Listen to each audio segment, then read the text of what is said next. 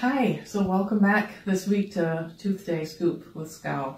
Our second edition, I guess we're doubling the amount of episodes we have out there, so that's pretty exciting.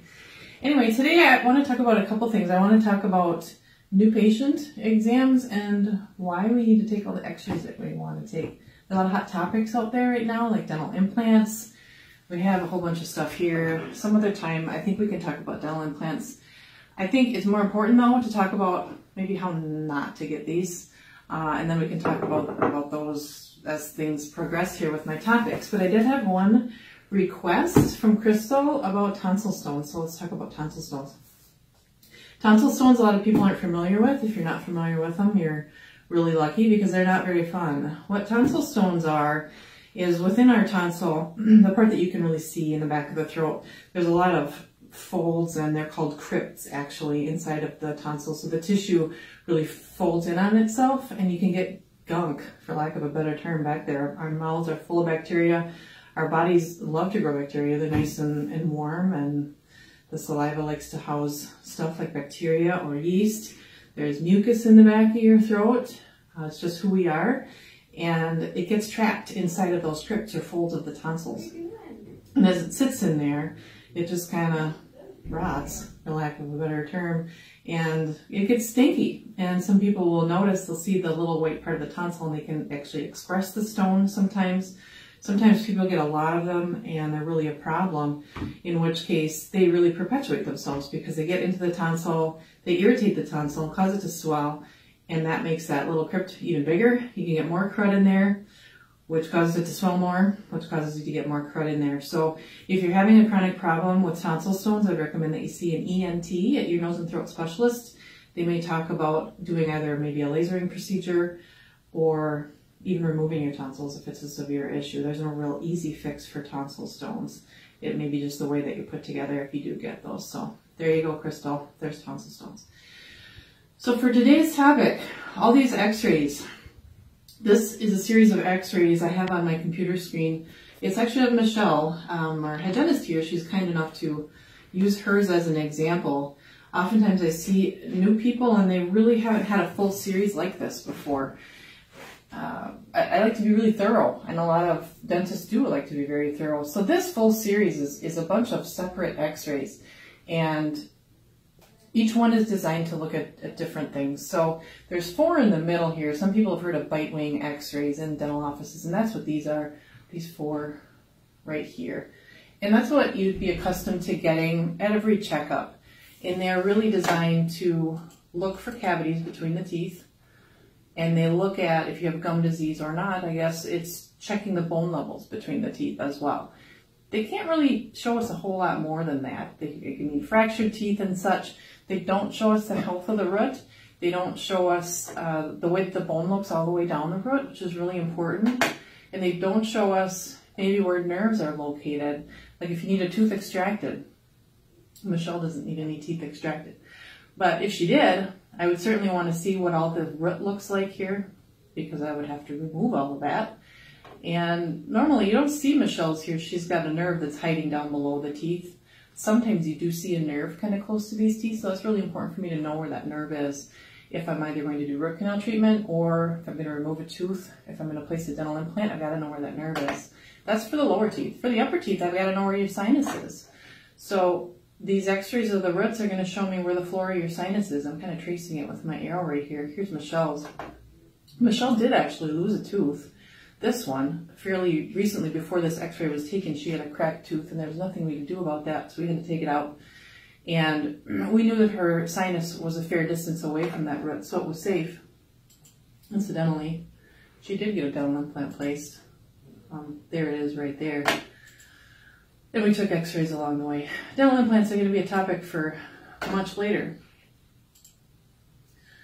So again, these are four bite wing x-rays of Michelle's from a different visit, and this is just routine annually. We're going to look between the teeth for cavities. They also don't check the front teeth. Cavities are not as common on the front teeth, so we don't check them every time. So we're going to take this full mouth series the first time we see you, and again, about every five years, maybe sooner if you get a lot of cavities, maybe every 10 years if you really don't have much going on with your teeth. Like Michelle, I probably really don't need another one of these for quite some time. Okay, so a question I get about these x-rays is how safe are they? And that's a really good question. There's a lot of good information and maybe some not so good information out there. You can look up anything on the internet that you want. But I'll cite a couple sources and show you um, safe radiation doses and maybe a comparison for every day because Dr. Connors and I, of course, we want everything to be really safe and we're not going to you know, recommend something unless we really need it or if it's unsafe for you. So just to kind of give you an idea, this is an x-ray sensor that we use here. And you'll see these in different, you know, dental offices and it's on a cord, which means it's completely digital. And in this way, we can reduce the amount of radiation by geez, compared to what it was 20 years ago, really big difference, really big drop in radiation. These sensors are kind of big. I'm sorry, they're uncomfortable. They don't feel very good in your mouth. Some people do better than others with this. I mean, they can make you want to gag. Let's just be honest, people don't really like these very much. But this is so important because we can diagnose things earlier if we don't just get these x-rays for you and we put things off. They get a lot more uncomfortable than these little sensors. So that's why we do that. Same thing with colonoscopy. Nobody likes them. We don't do them here. They're not fun, but you need it for your health, right? So radiation with this. I'm going to cite this. This is a fancy little notebook I got from UCLA. I traveled out there last July to learn about CT scans because we have a CT scanner here and I wanted to learn more about it. So I went to Los Angeles, which wasn't for me. I missed Wisconsin a lot when I was there. I got some good information. So this is just a, photo and it's a little slide. We're going to upload it onto our Facebook page so that you can see it. Uh, dosage from dental radiography. So when you're just walking around Earth, Earth gives off radiation. So you get radiation all the time, every day. You get a fair amount of it just on a flight. You get a lot of it for medical grade CTs. Um, the CT scanner that we have here, which obviously is a little different than this, it gives 3D images. Anyway, the 3D CT scanner that we have here is a much lower dose of radiation than you get with a medical grade. Our, ours is called a cone beam. Theirs is, is medical grade, so it takes slices. If you're interested in that, you can look it up. But that's why ours is cheaper too, because it's just, um, it's all we need for dental. So it's a little different than your medical grade CT. Um, so with this chart, they just give us a comparison your daily background radiation would be like a one. Um, they just say that all the radiation that you get when you're walking around the planet, they just grade it as one on here as a means of comparison. One of these little guys, whether it's a bite wing, people have heard of bite wings. These other ones are called periapical films. They're all the same radiation and they're about 0.5. So we add about another half a day on Earth for you when we're taking one of these guys. So when we take a full series, it's about an extra 11 days on the planet of radiation. That's what it is, its equivalent. If I take a CT scan here in my office, it's about 6 to 12 days depending on the field of view that I take. It's usually probably going to be around 8, maybe an extra week on the planet of regular radiation. As opposed to, let's say if you go to your uh, doctor and you need a medical grade CT of your abdomen, which is common and safe, that's 706 days. So a couple extra years with those medical grade CTs. So dental films, really much different than medical ones. And for one thing, we can do them this way because they're so small and you do need them every year. So we get them as low as possible. So they're really very safe.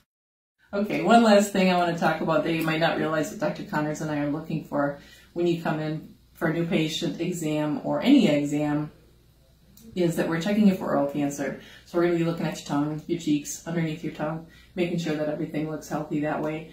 If you do use tobacco, if you chew tobacco, we're going to look at those areas a little more closely. We're not going to give you a lecture, but we want to make sure that they're looking okay. And no matter how long it's been since your dental visit, we're not going to give you a lecture. We would just be very grateful if you came in and uh, let us take a look and experience our x-rays. They're maybe not as uncomfortable as I said for you, hopefully not, but thanks for your patience when you do come in um, with those x-rays so that I can get them and get a good diagnosis. So thank you very much. We'll see you next week.